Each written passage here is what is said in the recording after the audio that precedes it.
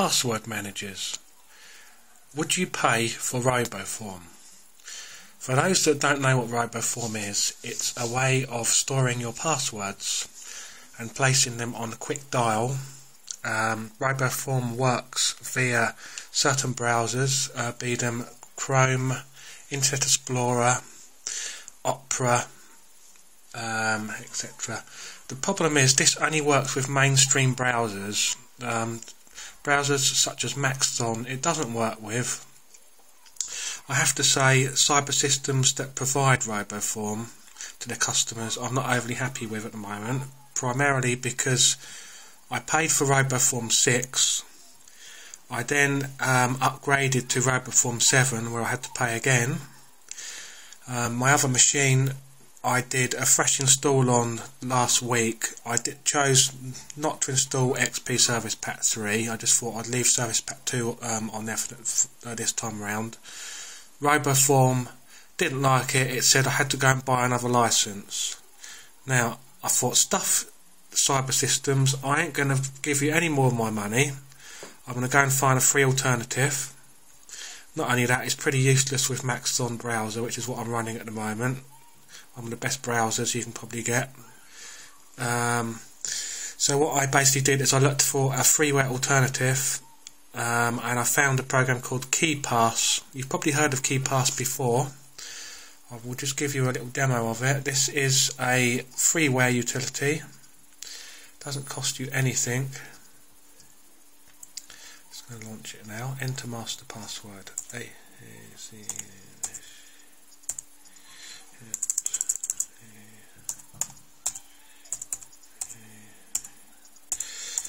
Right, there we go, we're logged into all our passwords now. Right, as you can see, this does differ from RoboForm somewhat because um, it doesn't exactly put your passwords on speed dial, you have to cut and paste them. As you can see here, we obviously if you want to look at um, gaming, we would click here. If you wanted to um, display your password, you would click that button there of the dots which would reveal the password. You could then cut and paste it into the browser. So overall it's not quite as convenient as RoboForm. Um, the main advantages of using KeePass over RoboForm however are it's browser independent. In other words, um, you don't have to worry what browser you're running, whereas RoboForm will only run with a particular browser uh, based on a plugin which has been programmed for it. So we can use this with any web browser we want.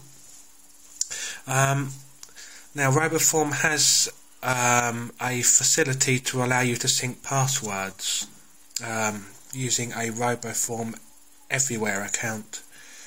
Again, complete waste of money. I think I've, I've, got the prices on here somewhere. Let's have a look at RoboForm, shall we? Their products they're doing. Right, here we go. I'm going to do a comparison now. RoboForm everywhere.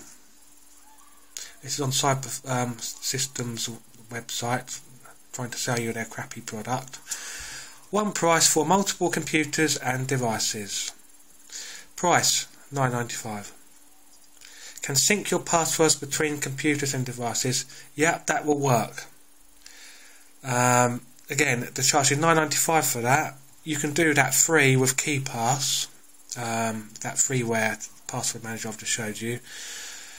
Um, the only extra you have to install is Dropbox, which is, a, is another free utility you can download for syncing data between computers. Now, that sounds a better deal to me. I'm sure you agree. KeePass and Dropbox doesn't cost you bugger all.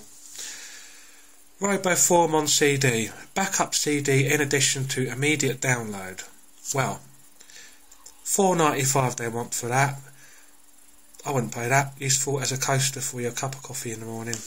Um, let's scroll down here. Special limited offer. Add to your order and save.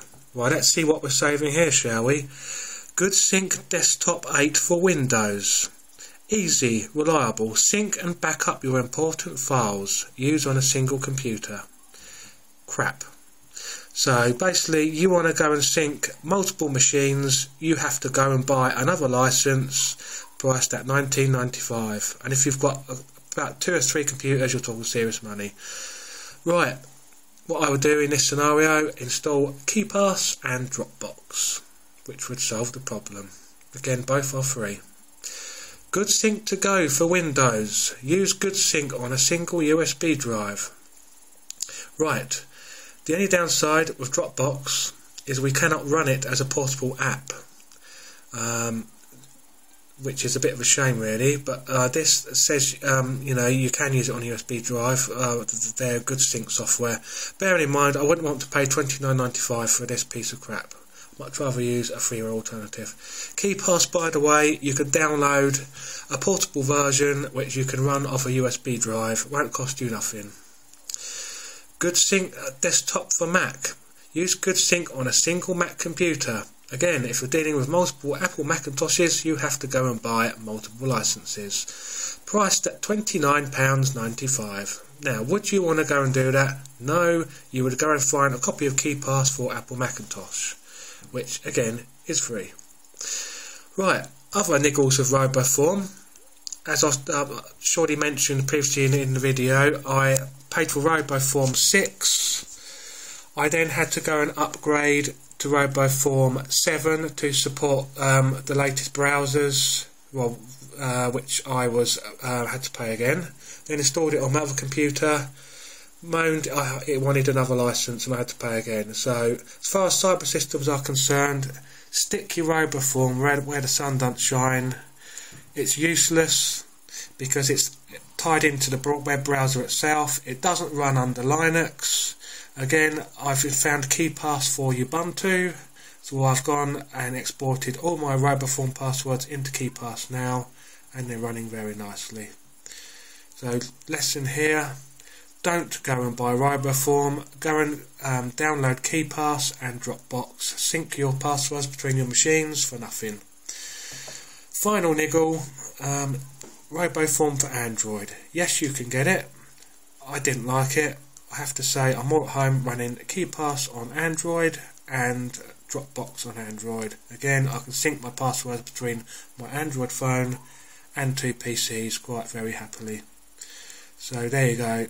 A final sum up of what I think of RoboForm. Again, great for having your passwords on speed dial. Useless because it's tied in with um, only the more popular browsers. Won't work with Maxthon 3. Won't work with Ubuntu. So don't buy it, it's a waste of money. Go and use a free alternative like I have suggested in my video. Anyway, I hope hopefully I've saved you some money. Thank you for watching and I will see you in another video. Goodbye.